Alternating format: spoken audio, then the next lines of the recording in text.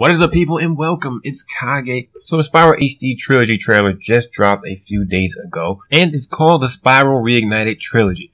Now I cannot lie, the first time I was seeing all of these rumors and these leaks coming out, I was excited but not really to that extent. I was just like, okay good, Spyro's getting the HD remaster and I was just not really caring, you know, for the most part. Then after the trailer dropped, you know, people start posting it all over the place. You know, this is the most lit trailer I've seen this year. You know, this thing looks incredible. Man, it's gonna be mind blowing. It's gonna be a game changer. Spyro's finally back. You know, all that hype stuff. So, you know, I said, you know what? Let me check this out. And after I watched the trailer, I can't lie. You know, nostalgia at your boy hard.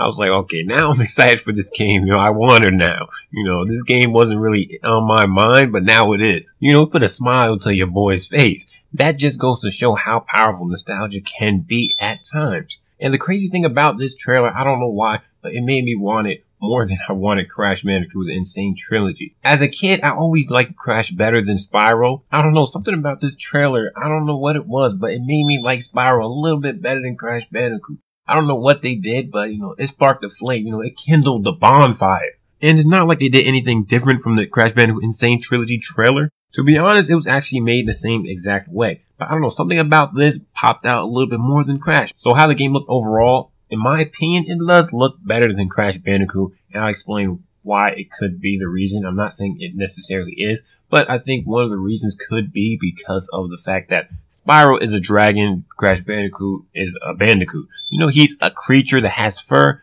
while Spyro has scales, so Spyro wouldn't really have to you won't have to go into detail with his fur like you would Crash Bandicoot. So if they have the same graphics, but as a furry creature, it may look, it may not look as good as a scaly creature or a creature that's smooth, I guess, all around. Because they don't really go into detail with his scales. They basically make him look like the old model, but HD. But Crash Bandicoot, they had to go a little extra and put, you know, fur on him. So that could be one of the reasons. And I think one of the reasons could also be that the world's a little bit more bigger and brighter than the Crash Bandicoot world. I think Spyro's world was always brighter than Crash Bandicoot. I'm not saying Crash Bandicoot is a dark game, but as it relates to the colors and stuff, Crash Bandicoot is not brighter than Spyro. That's just a fact. So that could be one of the things. It's also a newer game, so it could be a little bit better because of that. But I think the game will receive, you know, the same success or more than Crash Bandicoot had.